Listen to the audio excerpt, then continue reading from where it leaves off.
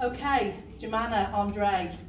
So at Student Council we've been thinking about everything we've done this year, all of the different enrichment activities and cultural awareness and lots of different things in line with tutorial and cross-college events. And we've been thinking about what we want to do next year to make it even better.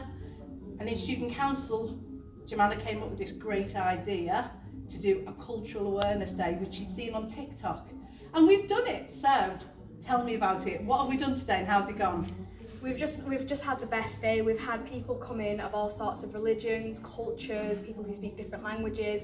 They've all gathered together, they've spoken to each other, they've learned something new and I just think that's so important. The diversity was immaculate and it's just been so successful. I'm really happy and pleased. Yay.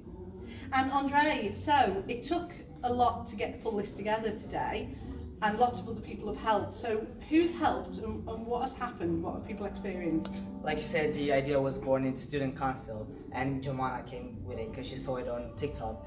But uh, we got a lot of help from uh, catering because we had food from different uh, countries. We had help from uh, fashion, as you can see here, there.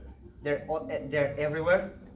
We had help uh, from Foundation here with the flags help from ev everyone came together for this event and that's really great because that's what, what we what we want to show integration and diversity and uh, we did it.